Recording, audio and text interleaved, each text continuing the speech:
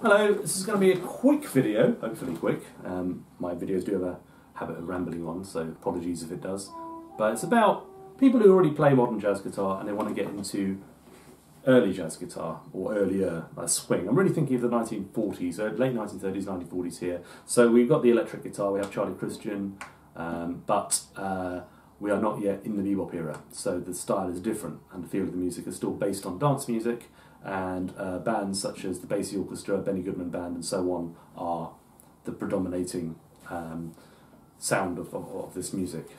So, um, I, have brought a guitar, or I'm filming a guitar today, which is deliberately quite ahistorical because I think this is the kind of guitar which a lot of modern jazz guitarists might have access to. Now, this guitar is a good choice over, say, I think a 335 or a Telecaster although those will do in a pinch if you have them, because of the look. It looks like a jazz guitar. It's got F-holes. Um, somebody who knows their history will look at it and go, well, actually, um, I think you'll find that they didn't have two pickup guitars or cutaways in 1950, sorry, 1938, and they certainly didn't. But um, this is enough of, uh, this is similar enough that people are not going to throw things at you, I think. And um, uh, the look is kind of important for this music. Because it's mostly about nostalgia and recreating the past. Well, it's not even nostalgia because nostalgia implies you have to remember something the first time around. It's about retroness, isn't it? Vintage, that kind of thing.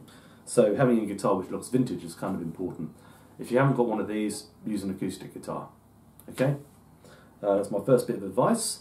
Um, now, um, in terms of playing, in terms of uh, you know, playing this kind of style. I will really want to avoid getting too much into note choices. I'll make some pointers later on, but I feel like two big things um, about this is first of all, you don't want to be um, making conscious decisions about your playing. That's awful. That, that, that whenever I have to do that, I always play really badly. Improvisation is based around the moment and your feeling and your spirit within the moment. So I want to concentrate on things that will make an intuitive difference, right, to your playing. Um, rather than sort of saying, well, you can't play this note on that chord, that's not in the style. So I'm not going to say anything, um, I'm not going to ban any note choices, let me put it that way. Okay. Um, by the way, this is the uh, journey I followed. I started off as a modern player and went into swing, um, and I was sort of kind of consciously managing my playing for quite a few years. And I actually think um, it was quite a bad idea. I think I was, it was almost like I was practicing on the bandstand a lot of the time, and now I just don't care, and I think I play a lot better. Anyway, um, so what am I talking about with that? Well, let me just give you an example. I'm going to play some note choices that are absolutely fine for swing. So I'm going to play, uh, let's see.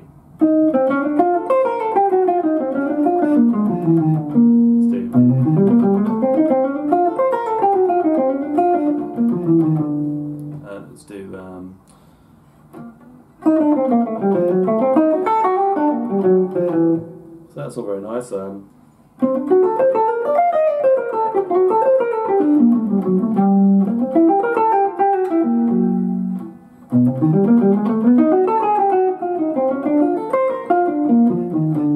quite vanilla note choices. I threw in a couple of tritone subs and a bit of a flat sharp 11 on that chord, you know, just to show that you can do that. Um, I mean,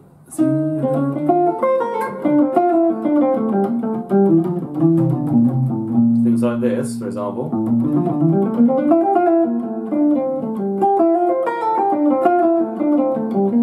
I think I was being more modern language. A lot of what I was playing was kind of somewhere in between swing and bebop. Um, sort of eighth note, line, eighth lines with chromatics and so on, um, describing the changes. Pretty old school. But uh, that, that last phrase is kind of more, is more an example of what I might play in a more contemporary vein. Um, now, I hope you agree. You might not agree. You might think this still sounds very old fashioned, but my, my way of playing is kind of old fashioned. But what I was doing was I was kind of deliberately taking the amp and having it set quite high so that I can play very much off the amp and play very legato. So, for example, if I'm practicing a scale, I might practice it. I'll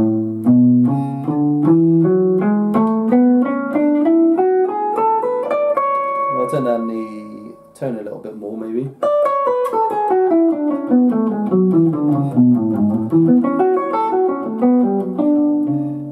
That's kind of more of a contemporary sound to me. Okay, so I'm assuming that most people have come out of that tradition, and I would say that the history of the jazz guitar, um, you can talk about you can talk about things like um, harmony and the role of the instrument, the ensemble, but I think you can express the history of jazz guitar very simply as the touch has got lighter. So in the early days, you were playing acoustic guitars, very often just playing rhythm in big bands and having to hammer the living bejesus out of your instrument in order to be heard. Um, it's just about possible to be audible within things like string bands or Django. So you know you play single note lines maybe, but most most soloists in those eras, in that era, the 1930s, were.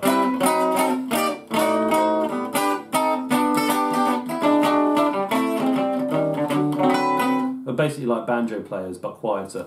Okay, so I mean that is that's the tradition of Allan Reuss and Dick McDonough and Carl Kress and all those great players. Um, and I'm not knocking it; it's a great thing, but it's kind of different. Um, and he had to whack the strings hard in order to be heard. Then we had the invention of the electric guitar, or the popularization, at least, of the electric guitar via um, Charlie Christian. The touch got lighter, but Charlie and the players who are immediately around him, such as George Barnes and Barney Kessel and so on, are still hitting the strings quite hard. You know, still like. Sorry, that was really loud. It's kind of bat, bat, bat. It's kind of a full on sound, right? Then later on, it got lighter with Wes Montgomery and his thumbs. Well, one thumb.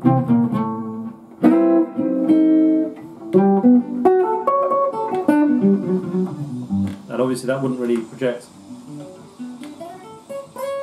acoustically. And then the players that followed on, you know, like Pat Metheny and so on, um, uh, you know, tended to have a lighter touch. And now contemporary jazz guitar, we're mostly looking at players who do things like alternate pick and really try to get it even.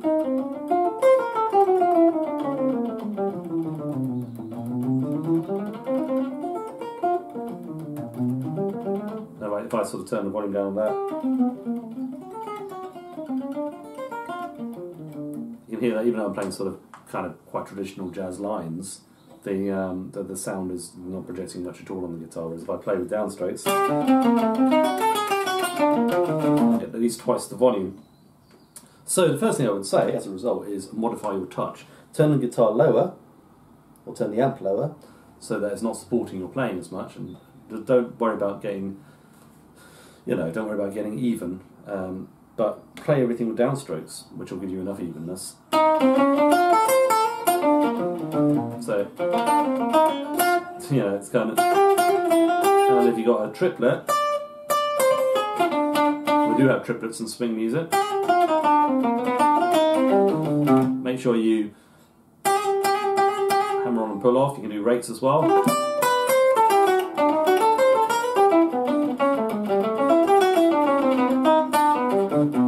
Think if you start doing that, you'll get much more into the style. So it's really the difference between maybe something like this.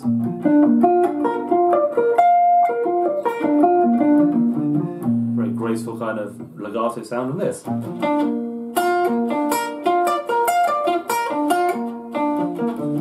Okay, so it's just a different quality in the sound now. So that when I play these sorts of lines like this,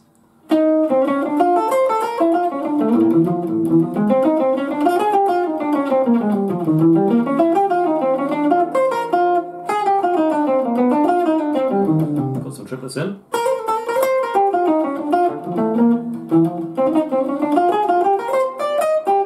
Now it's quite hard to play all down strokes on eighth note lines, especially at upper tempos, which leads me on to the next thing, which is the feel. So, as you'll notice, all my lines are constructed on sort of lines of rolling eighth notes, which I think is quite a quite a modern jazz thing to do.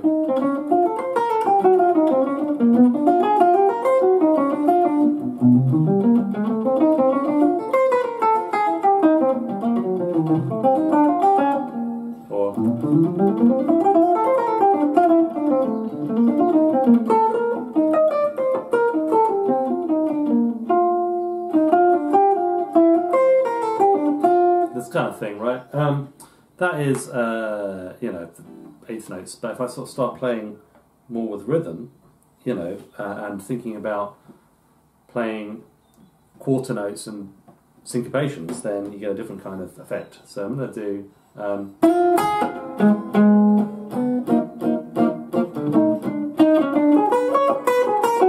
let's try that again without mistake.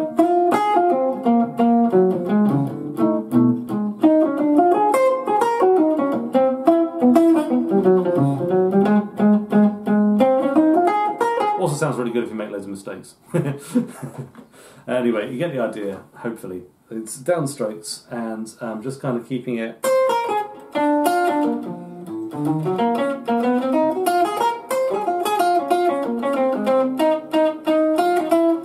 I don't playing it um, quarter notes even at upper tempos, like I sort of do a fast rhythm changes.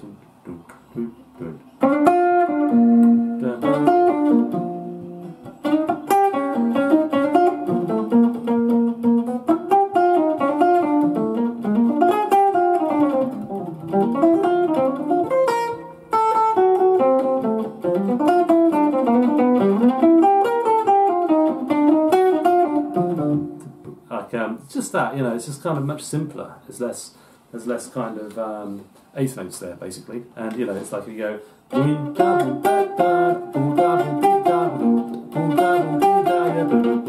Just triads and sixth note, uh, well, it's a major sixth arpeggio I'm playing on there, and there's enough in the rhythm just to give it a bit of a bit of shape, and it starts to sound like well swing music. Okay, so that's important. Um, and also don't, you know, at slow tempos don't neglect the triplets as well. I play like in a, in a mellow tone.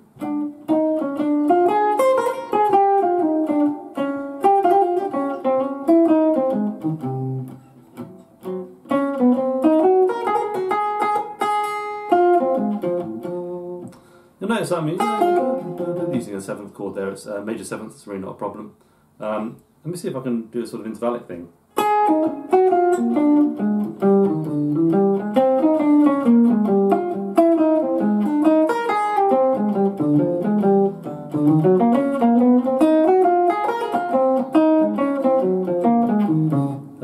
Top, but you can hear that because of the way I'm playing it. It doesn't jump out too much, and you could use little bursts of that in your playing, like even if I played like an altered scale. I mean, the altered scale is kind of not really something which exists in swing music, but if I play like 251, that'd be something like this. I don't think anyone's going to moan about that, you know, it's like. Oh, man, that's, that's awful. Let me try that again. That kind of thing, you know, it just passes barely without a remark. People might go, oh, that's an interesting note choice, but they're not going to go, you know, take him out the back and burn him at the stake for playing an altered scale over, you know, 251. If that's your standard note choice, that's great. You know, it doesn't matter too much. Um, but on the whole, keep it simple. Um, so I kind of like that because I think this, like, just by adopting those two things, then it will drive your playing in a certain direction and you will sound more stylistic, even if you don't really change your note choices that much. The other bonus is you'll be able to do that on an acoustic guitar.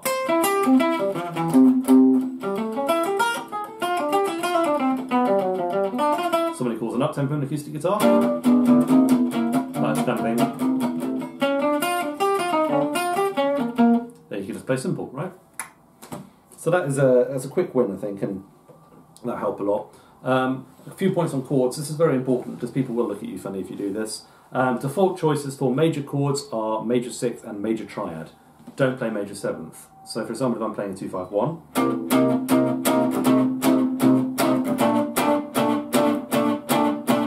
That sounds wrong, right? It has to be major sixth. At a push, you can go major seventh, major sixth. That's quite nice. That's riff you hear a lot. Um, so if you get a seventh resolved to a sixth, same with the minor sevenths actually. And notice that if we use these George Van Eps voicings, a minor seventh chord going to a minor sixth is basically the same thing as playing a 2-5 anyway.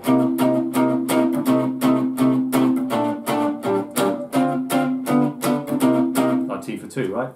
That's cool. Um, you'll notice that I'm hitting the strings quite hard. In fact, I would say what I said for single note playing is even more so for rhythm guitar. You should really have the, the volume down low and be striking the strings, not forcefully, but with a kind of.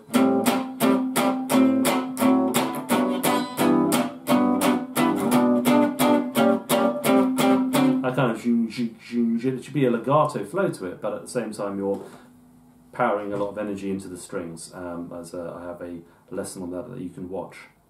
Right, finally, note choices. The only things I would say about note choices is don't be afraid of the blues, um, and in swing, as I've mentioned in another video, um, as well as bebop, we tend to use the major blues, which is this scale. So in, a, in B flat rhythm changes or blues, play this there, which is B flat, uh, B flat sixth chord, and we go. We play the Duke scale, as I like to think of it, which is um, you know a G minor pentatonic with a flat five, or G minor blues scale, or a B flat major pentatonic with a extra flat three in it. And swing music is very common to have the uh, flat three instead of a three. So um, if I play like Honeysuckle Rose.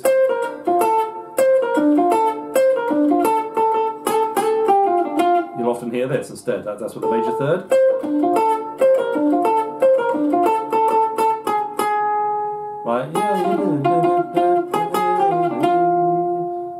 Uh, play that again so it's a bit clearer. So it's the same melody, but with the third lowered to a to a flat three for the bluesy effect. So all that kind of stuff is very cool. You know, you can use your um, uh, you know Charlie. Uh, what talking about, Chuck Berry licks. There's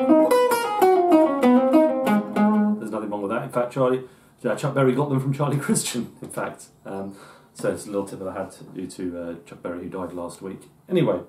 Um, you know, he was coming out of the swing tradition as rock and roll was, because swing was the popular music that preceded rock and roll. Okay, so that is. Oh yeah, apart from one little thing, this is a bit of a nerdy thing, but I kind of like it. Um, don't flatten the ninth on a six-seven chord. I, I do this all the time. I play the flat nine on there all the time as I like the sound. But if you really want to sound swing, actually, if I play uh, this kind of thing.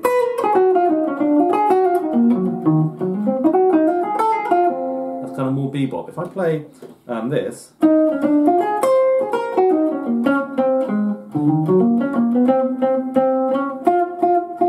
more swing. Why? Well, because apart from the way I was phrasing it, because we're using the major ninth on the B flat seven chord in this D flat one turnaround, right? It's a sixth chord here. Put it in C major, to make it easier. A seven over the top of the A seven, we play a C instead of the C, C flat. Um, we do this with, uh, we can use a, depending how you look at it, a E minor sixth arpeggio or a C sharp half diminished arpeggio, and it sounds like this.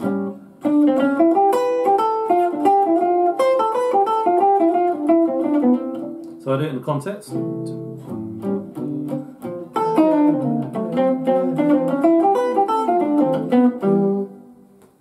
Sounds much more swing than this.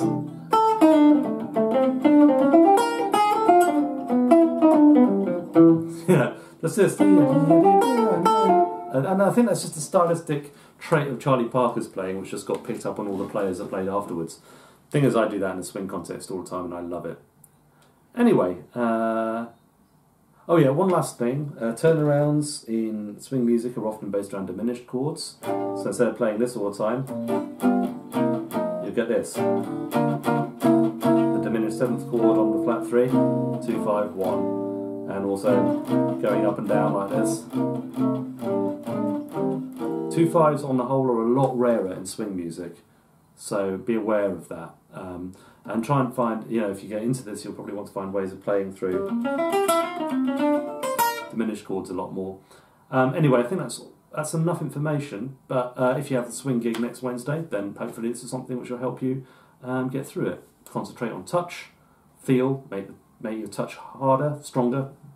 Stronger is probably better, firmer, you know, more downstrokes, and make your feel simpler, make it more dancey. Don't be afraid of riffs, don't be afraid of the blues, don't be afraid of the blues even, and definitely be afraid of major seventh chords. And minor seventh chords should be used with caution as well. Anyway, I hope that's some help. Thanks for watching. Bye.